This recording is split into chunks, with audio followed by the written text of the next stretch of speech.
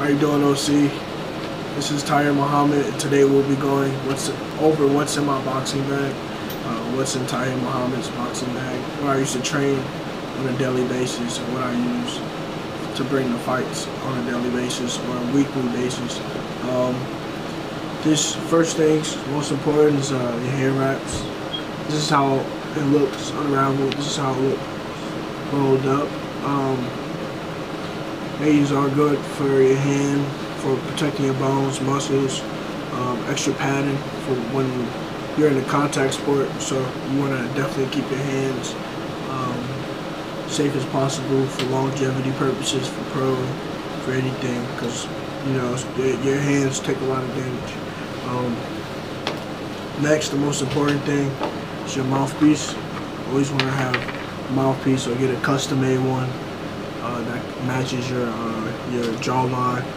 That way, you know you're better prepared for when you know you get an unexpected shot because um, you are in a contact sport. Next, uh, you always want to have a good sturdy pair of shoes. Practice. These are my practice pair of shoes. Uh, I use these to practice in because they're light. I wore them a lot already, um, but they're still sturdy and good to go. So I'm fighting these here. These have a lot more ankle support. I like how they're more cushiony, more bouncy for me. So I prefer to fight in these. Um, it's all about uh, personal preferences. Um, next, when I'm practicing, I want to always bring a change of clothes. Um, always bring a change of uh, a fleece because you always wear layers of sweat. So you definitely want to have change to change into and also change out of uh, extra pair of shorts, uh, briefs. Um, also material like this one which catches your sweat. It's good for working out, built for it. So that way you could, you're sweating a lot under your layers, so you have this for first contact to basically um, stop as much uh, sweat from dripping down into you like your underwear and stuff like that and your socks. Um, next, training, most important thing I use is these bad boys here. Boxing gloves. I use these to hit the bag. I use these for uh, sparring.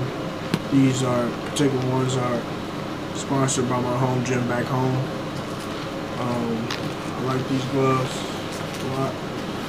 Um, next we have, let's see, if it's a sparring day, sparring pros or amateurs always want to stay protected.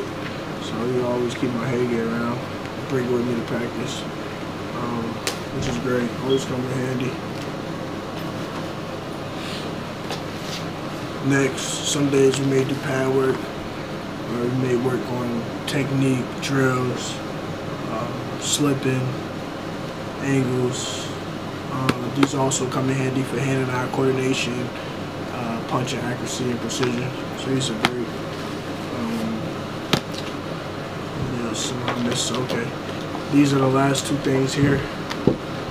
Which is, uh, I like these. These help me warm up when I'm shadow boxing, help my punches get stronger, work on the muscles that aren't particularly uh, work, worked on. Um, so these also come in handy.